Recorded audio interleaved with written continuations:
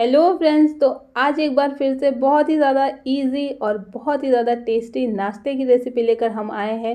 और ये नाश्ता जो है, गेहूँ के आटे से बना है तो बहुत ही ज़्यादा टेस्टी लगता है और साथ ही साथ ये हेल्दी भी है।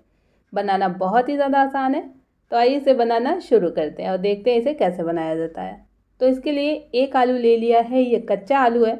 इसे हम छील के और धो लेंगे। फिर यहाँ पे ग्रेटर ले लिया है और उसका जो सबसे मोटा वाला होल होता है उससे हम ग्रेट करेंगे, यानी कि कद्दूकस करेंगे। और आलू को कद्दूकस करने के बाद इसे पानी में रखें। हो सके तो इसे पानी में ही कद्दूकस करें, नहीं तो आलू जो है वो लाल होने लग जाते हैं।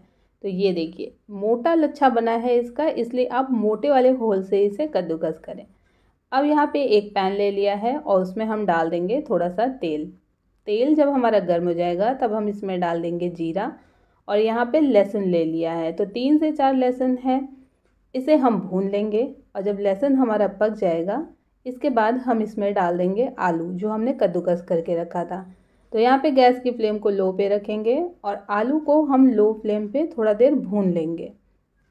इस नाश्ते में आलू को उबाला नहीं है, ये नाश्ता हम कच्चे आलू से बनाएँगे। जब आप इसे कच्चे आलू से बनाएँगे ना तो इसका टेस्ट बहुत ही ज़्यादा बढ़िया आएगा। तो आलू को जब हम भून लेंगे, लगभग चार से पाँच मिनट भूनना है। इसके बाद हम इसमें डाल देंगे नमक और फिर हम इसे अच्छी तरह से मिक्स करके और लो फ्लेम पे ढक कर के लगभग चार से पाँच मिनट के लिए पकाएँगे। इसे हमें बहुत ज़्यादा नहीं पकाना है मतलब आलू एकदम पूरी तरह से नहीं पकना चाहिए, ये देखिए। आलू यहाँ पे लगभग आधा से ज़्यादा पक चुका है। तो अब हम इसे निकाल लेते हैं और इसे हम ओवर कुक नहीं करेंगे मतलब हम इसे बहुत ज़्यादा नहीं पकाएँगे। पानी जो इसमें था वो भी सूख चुका है पूरी तरह से। तो अब हम गैस की फ्लेम को ऑफ़ कर देते हैं और आलू को निकाल के हम इसे ठंडा कर लेंगे। तो इसे गर्म नहीं होना चाहिए, इसे पूरी तरह ठंडा कर लेना है। इसके बाद हम निकाल लेंगे इसे एक प्लेट में और अब हमने ले लिया है एक बोल। इसमें हम ले लेंगे एक कप गेहूँ का आटा और इसमें हम डालेंगे आधा कप चावल का आटा। चावल का आटा डालने से ये नाश्ता जो है वो क्रिस्पी बनेगा। फिर नमक ले लिया है, आधा चम्मच नमक और यहाँ हम थोड़ी सी हल्दी भी डाल रहे हैं।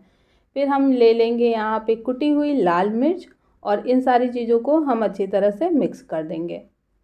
और हम इसमें कोई मसाले ऐड नहीं कर रहे हैं, बस इतने मसाले से ही ये नाश्ता जो है वो बहुत ही ज़्यादा टेस्टी बनेगा। फिर हम डाल देंगे थोड़ा सा पानी और थोड़ा थोड़ा पानी डालते हुए हम इसका बैटर तैयार करेंगे। तो एक साथ बहुत ज़्यादा पानी ना डालें। थोड़ा थोड़ा पानी करके डालें। तो यहाँ पे लगभग आधा ग्लास पानी मैंने डाला था और आधे ग्लास पानी में इसका बैटर एकदम बढ़िया से तैयार हो गया था। तो आप जितने लोगों के लिए नाश्ता बना रहे हैं, आप उस हिसाब से आटा और चावल का आटा ले सकते हैं। अगर ज़्यादा लोगों के लिए बना रहे हैं तो आप इसकी क्वांटिटी बढ़ा सकते हैं।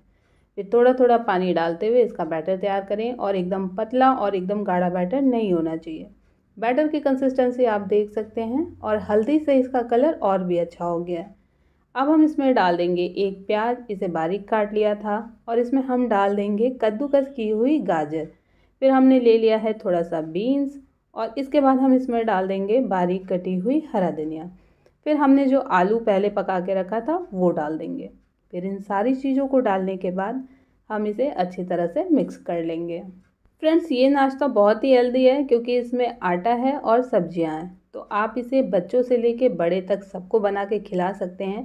और ये जितना हेल्दी है ना, इसका स्वाद उतना ही अच्छा लगता है तो ये घर में सबको ही पसंद आएगा। और ये देखिए, हमारा बैटर तैयार हो गया है, एकदम पतला भी नहीं है और एकदम गाढ़ा भी नहीं है। तो इस तरह से हम इसका बैटर बना लेंगे।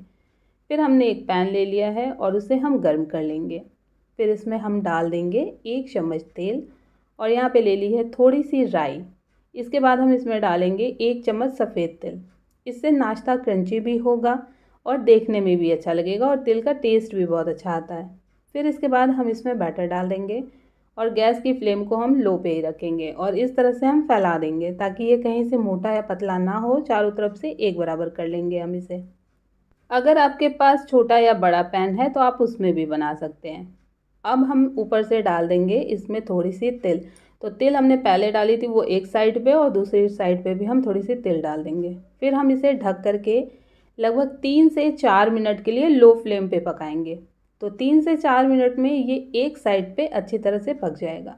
क्योंकि लो फ्लेम पे है तो ये बहुत ही कुरकुरा बनेगा। फिर इसे पलट के हम ढक करके दूसरे साइड पे भी तीन से चार मिनट के लिए पका लेंगे। और इस तरह से हमारा ये टेस्टी नाश्ता बनकर तैयार हो जाएगा। ये देखिए। बहुत ही ज़्यादा टेस्टी लगता है खाने में और देखने में भी बहुत ही ज़्यादा यमी लग रहा है। तो इसे आप ट्राई करिए। घर में सबको बनाकर खिलाइए। अगर वीडियो पसंद आई हो तो फ्रेंड्स और फैमिली के साथ में शेयर करिए और बने रहिए मेरे चैनल पे नई नई रेसिपीज़ देखने के लिए। और भी बहुत सारी यमी और टेस्टी रेसिपीज़ आपको मेरे चैनल पे मिल जाएगी तो आप वहाँ से जाकर देख सकते हैं। तो मिलते हैं अगली वीडियो में। Take care